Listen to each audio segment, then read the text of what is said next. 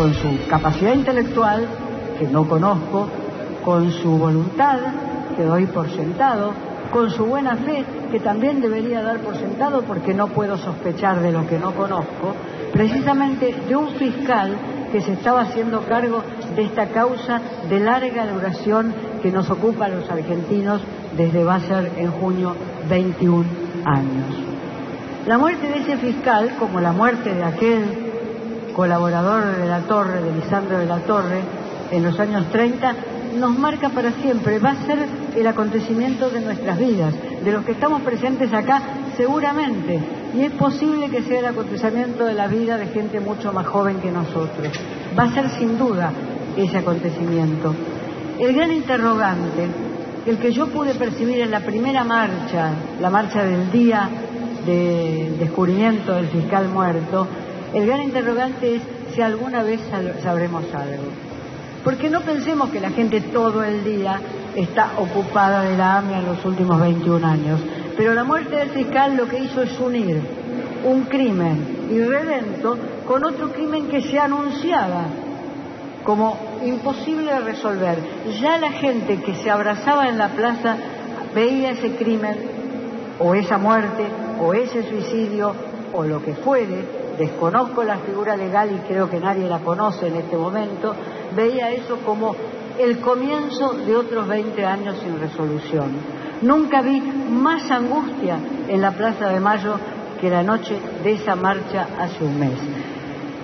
Vi mucha tristeza en el entierro de Perón, soy vieja y por supuesto que pude estar en la, en la muerte de Perón. Vi mucha tristeza en la fila que esperaba a las puertas de este Congreso cuando el velatorio de Alfonsín y mucha tristeza en la marcha hacia Recoleta cuando acompañamos la caravana fúnebre con Alfonsín. Vi mucha tristeza el día de la muerte de Néstor en Plaza de Mayo. Vi mucha tristeza. Pero lo que vi el otro día, hace, hace un mes, hará un mes mañana, en esa plaza, no fue tristeza, fue algo de otro orden, fue tristeza, pero además de la tristeza había algo de otro orden.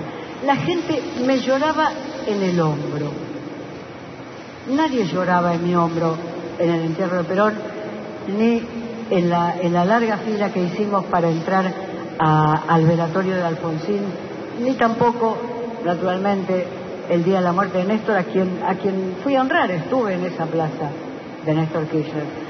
La gente me lloraba en el hombro y se lloraba mutuamente en el hombro. Es decir, un pueblo como si estuviera subordinado, sintiera que su destino está subordinado a fuerzas que desconoce y que no sabe si nadie va a poder llegar a dominar. Este es el interrogante. Lo que estaba en la plaza ese día es gente que no sabía si las fuerzas que estaban desatadas, las fuerzas que se desataron quizás antes de la muerte de Nisman, esas fuerzas alguna vez iban a poder ser dominadas. Los argentinos nos enorgullecemos del juicio de las juntas y luego de los juicios que han seguido hasta hoy, después de, que este Congreso eh, terminó con las leyes de obediencia debida y punto final. Los argentinos nos enorgullecemos de eso. Con e, esa es la banderita con la cual podemos andar por el mundo. Ese es mi único punto nacionalista. Tengo un único punto nacionalista, el juicio de las juntas y el juicio a los militares genocidas. Ese es el único.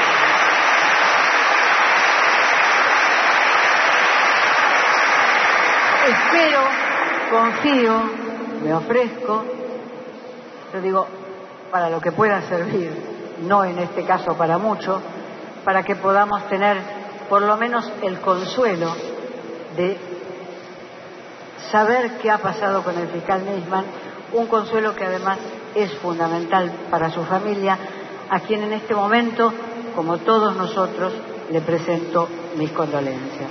Sigue el duelo. Bien, la palabra de la ensayista Beatriz Arlo en este Salón Azul del Senado de la Nación, donde se está llevando a cabo esta audiencia pública ciudadana paralelamente con la sesión parlamentaria que el oficialismo ha convocado para crear la AFI.